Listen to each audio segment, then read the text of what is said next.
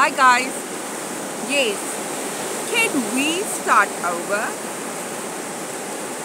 I mean, starting with this whole thing of being, you know, emotional, and I'm not supposed to be emotional. It is quite difficult because you see what's happening in the world, and yeah, you know, so the Holy Spirit just showed me, you know, I'm going about it wrong, and that's not the purpose how the Father wants me to relay these things. So we will do it in a more joyous fashion. Uh, a little bit, a little bit light-hearted, you know, because there's a lot of anguish and pain, you know, resentment that's going on. There's a lot going on behind the scenes that the people don't know. So I have to bring this,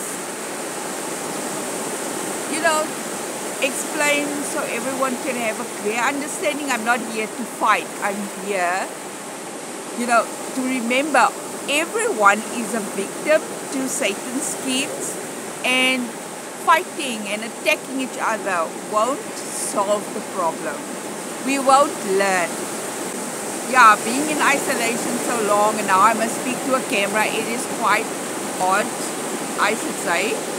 And, you know, but yeah, I'll, I'll, I'll try my best. But anyway, um, uh, you know, I'm also under attack uh, because of these revelations and it is quite difficult you know. So yeah i don't i don't need you know anger and resentment and all that things. It just keeps you in that low vibrational state and that is the energy that the, the demons feed off why the bible say what you reap you sow what you attract what you give out you attract and that's the laws of the universe. We, we can't get away with it. The Bible tells us what you reap, you sow.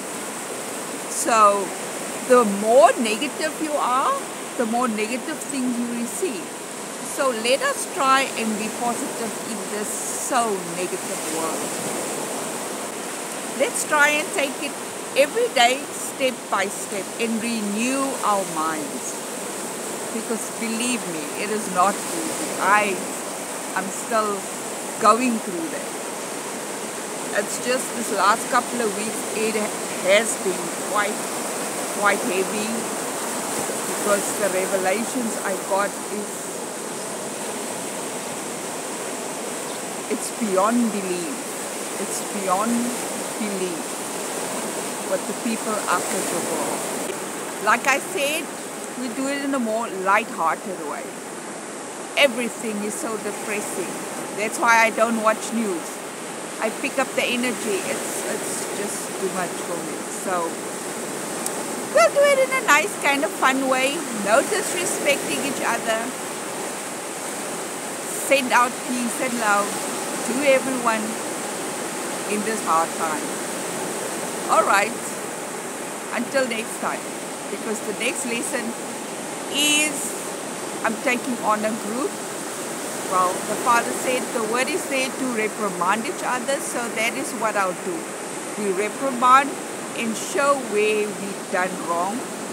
But I am not attacking, I am not judging, I am just showing. And it's up to you whether you're going to take it up or not.